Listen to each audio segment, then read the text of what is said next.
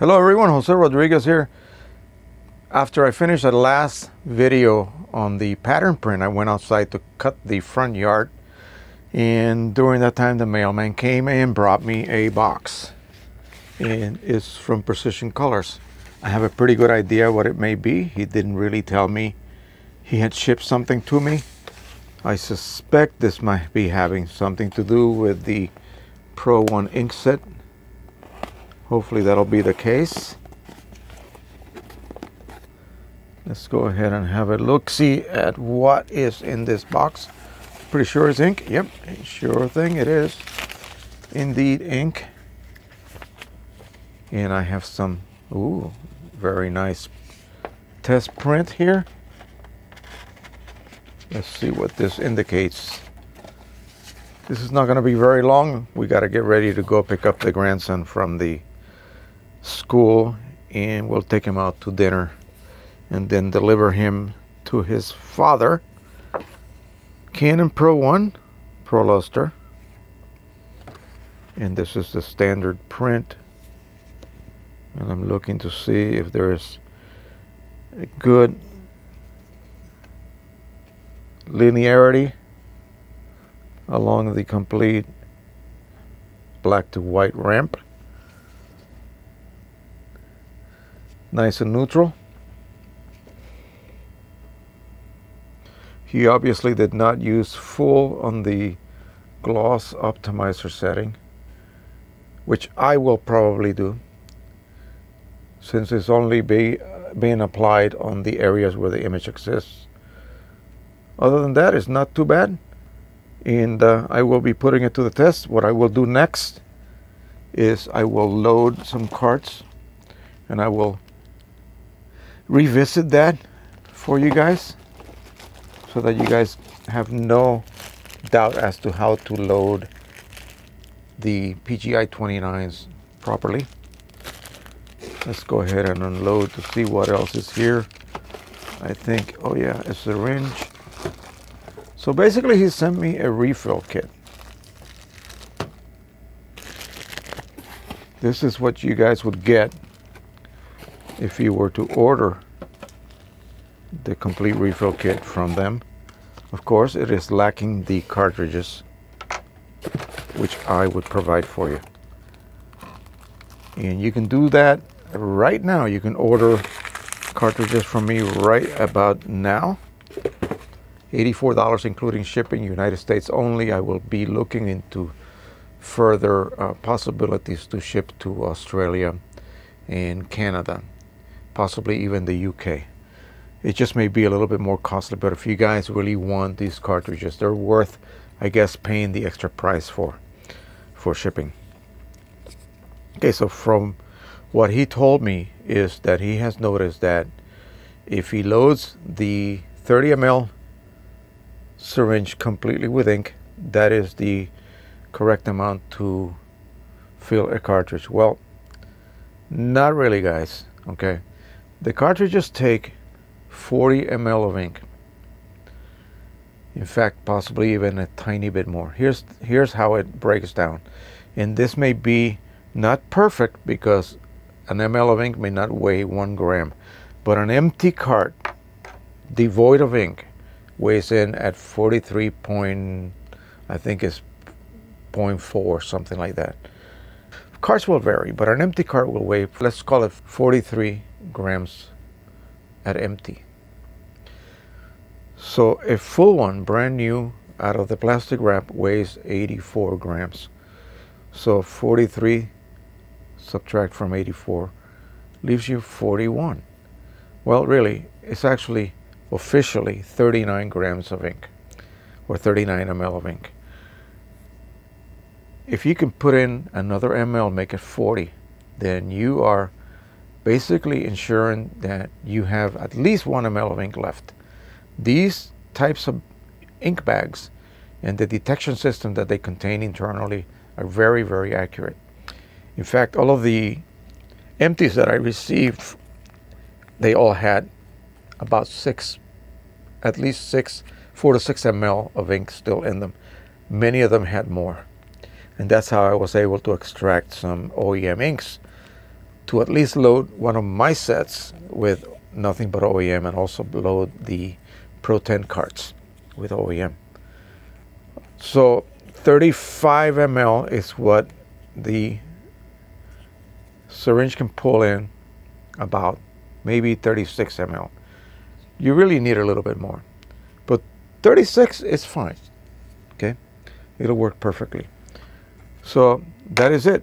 That plus one of my refilling tips or his refilling tips that he also has available. I think he forgot to send me one of those.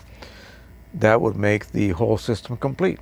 So I get the cards from me, get the inks from Precision Colors, and chips as well. He will have chips probably in like one to one and a half weeks. Like I said, they come from China, but his provider, in other words, the company that he deals with, um, seems to have them on hand. So I think he gets a little bit faster service than I would get. So that is it. We are ready to start testing. I like the results that he got here. Um, this is very good. This is very similar to the results I was getting on the 9500 with his new ink set for it. Much more glossier than the previous inks that he was using, especially around the areas where reds oranges, pinks, lavenders, anything that uses magenta. It would literally be matte. So I'm going to experiment using my standard use of the Pro one, which is with full application of Chroma Optimizer and see if I can then fill the rest of the areas of the print that do not contain images. In other words, when you choose auto, what the driver does, it only applies gloss optimizer or chroma optimizer on top of areas that have a certain amount of density of ink. In other areas, just don't receive it. It's almost like it's creating a negative of the image and only applying it on those areas of higher density of ink. So areas that had black, they had middle middle grays and uh, a lot of middle tones and lower tones get a lot more gloss optimizer or chroma optimizer. Areas of white don't receive anything, as you can see here. I don't know if you'll be able to see that, but the areas where the it's just print paper background don't receive any chroma optimizer. But if you tell it to apply full, then the whole sheet will receive Chroma Optimizer, except for a sliver of a margin, because there's a limitation as to how far the printer can print. Now, I have not tried to use borderless settings yet, so maybe that will allow the Chroma Optimizer to actually extend beyond the edges of the paper. And that would be awesome if that's possible. All right, that is it. Great. Another great adventure awaits us. We're going to start doing this probably this weekend. I have a pretty busy weekend family wise, but I'll try to sneak in at least the refilling of a set of carts. I have about 20 full sets that I can sell. And depending on my provider's ability to provide me with some more empties, that's going to be it. That'll be the end of that. And what I suggest you guys do is the following go ahead and get your Pro 1. If you already have a Pro 1, save those empties. Once I go through these 20, that's it. I'm not going to probably have uh, any more. I have a lot of sets that are just short one or two colors. So hopefully after I get my next load of cards, I will be able to add those missing single color or two colors that I need to make them into complete sets.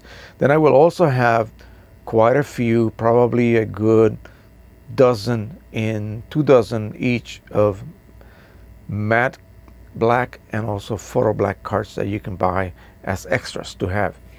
And of course you'll have to get chips for those. Now on the chips there's been an update. Precision colors couldn't get a really really good discount.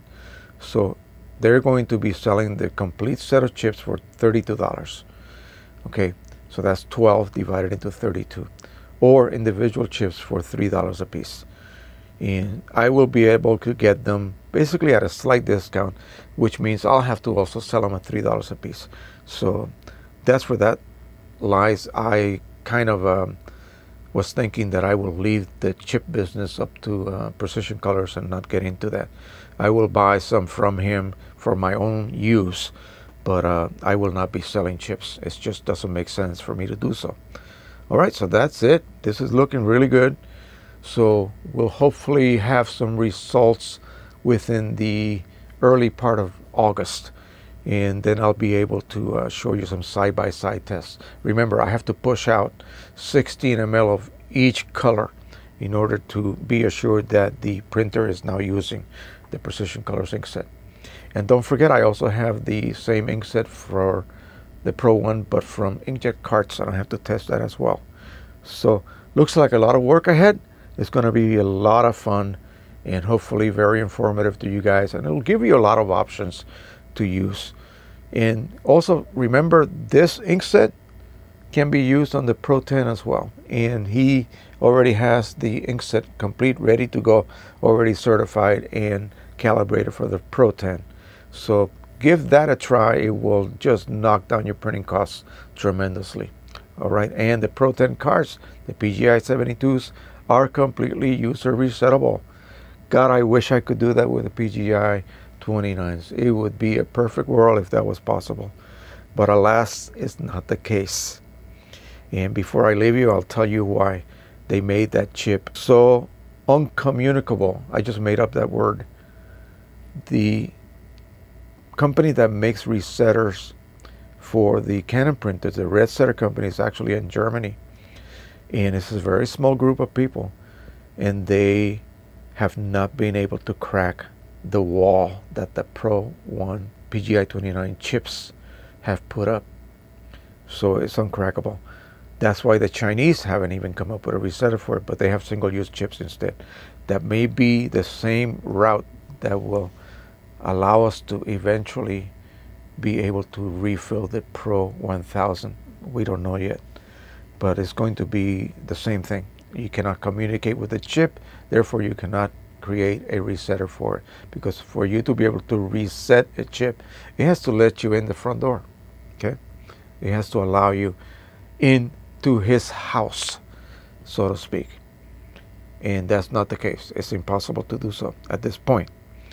All right and there simply is not i guess the interest or the um, demand by people. So they're not going to spend the money and time to be able to crack that. Done period. All right that's it. So please subscribe please like and please share. And as always happy printing everyone. Bye bye we're heading out to see my boy. Oh boy. All right bye bye